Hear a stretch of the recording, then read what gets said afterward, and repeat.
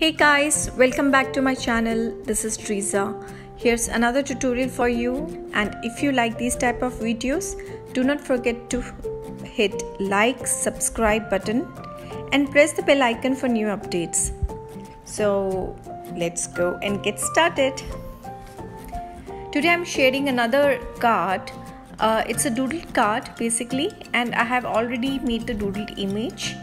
As you can see there are two images one is color doodle and one is black and white doodle.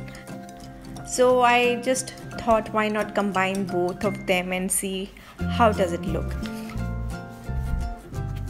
So now I'm making a second layer where I'm going to add sentiment.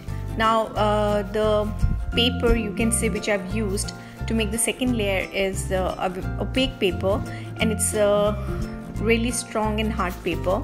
So the next step is to add sentiment. Uh, I'm using uh, sentiment from Kaisercraft. Uh, these are, you know, comes with the transparent backing. I must say, I love these sentiment, uh, and uh, it's very easy to use and uh, if i'm going to get them somewhere i'm really going to buy them um, so my card is complete now and i hope you liked the tutorial uh, as you can see the card is very easy to make simple and beautiful so i would like to thank everyone who is watching the video and hope this brings an inspiration for some of you. Thank you for so much for supporting me in my little journey. Thank you so much.